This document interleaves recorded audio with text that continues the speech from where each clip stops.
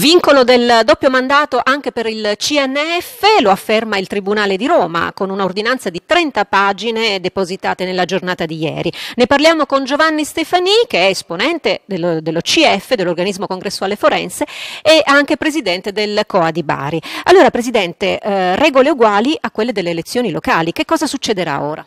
Bah, eh, innanzitutto oggi abbiamo una, dire, un contributo anche da parte del giudice di merito sulla, sulla, vicenda e questo credo che sia l'aspetto più importante, sebbene in una fase cautelare a cui necessariamente dovrà seguire la fase di merito, però la ordinanza che consta di una trentina di pagine è ben motivata, è ricca di spunti eh, prendiamo atto che è stato per un verso eh, affermato che la, il limite del doppio mandato vale anche per l'istituzione centrale, quindi non soltanto per eh, gli ordini territoriali.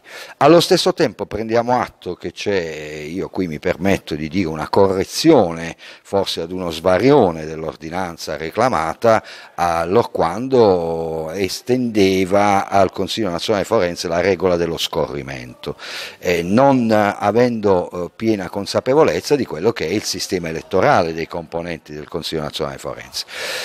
Certamente io credo se ne parlerà alla prossima assemblea dell'organismo congressuale forense che come voi sapete bene è fissata per i prossimi 20 e 21, eh, quindi dopodomani sostanzialmente cioè, siamo vicinissimi, se ne parlerà. Eh, l'organismo congressuale forense su questo tema ha sempre assunto una posizione di estrema correttezza, di estrema prudenza e di estremo equilibrio anche istituzionale. Nel momento in cui ha chiesto fin dal, dai primordi, quindi dopo la sentenza delle sezioni unite della Suprema Corte, ben nota, eh, che fosse fatta chiarezza. Sono intervenute delle norme interpretative che hanno fatto chiarezza, è intervenuta poi eh, l'estate scorsa la Corte Costituzionale a dare ulteriori contributi sulla eh, tenuta di legittimità rispetto alle norme costituzionali della norma sul doppio mandato, oggi abbiamo un ulteriore contributo che dice che tale limite del doppio mandato si applica anche al Consiglio nazionale forense sulla scorta di un ragionamento di equiparazione delle norme a tutti gli organismi di una stessa compagine professionale. Il tema di fondo è questo. Eh, certo. Ci saranno degli equilibri che traballeranno o tutto secondo lei rimarrà come prima? No, allora io certamente mi auguro che non traballi nulla, perché sono quello che fin dal primo momento ha detto che comunque le istituzioni e tutte le componenti dell'associatura della, dell'avvocatura vanno tenute in sicurezza.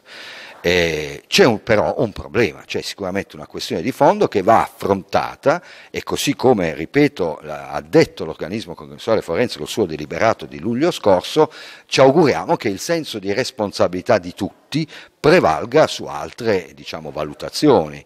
E il momento eh, è eh, quello per cui appunto è la responsabilità di ciascuno che deve prevalere, perché eh, questa è una considerazione che voglio fare anche perché ho la eh, certezza della condivisione da parte dell'organismo di cui sono componente, l'ufficio di coordinamento, eh, noi teniamo alla, dire, alla solidità delle, delle, componenti istituzionali dell'avvocatura e quindi sono certo che tutti i soggetti interessati stiano già facendo profonda riflessione, sicuramente continueranno a farla e addiveranno, approderanno alle giuste de- decisioni. Perfetto Presidente, è stato chiarissimo. Grazie e buon lavoro. Grazie a voi come sempre.